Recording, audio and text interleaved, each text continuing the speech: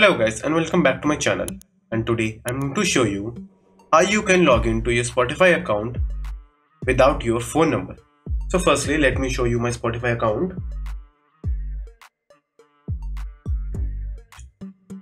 So as you can see my Spotify account is currently logged in. I'll just quickly log out of it.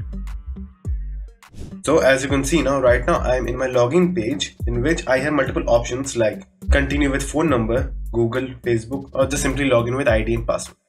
Then log in with your email ID and password if you want that or you can just simply click on login without password and then you can just simply fill up your email ID and then click on get link.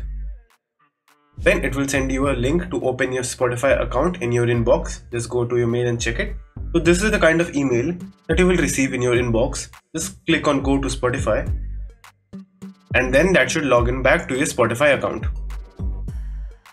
So that's it. Thank you for watching and do like and subscribe to my channel and take care.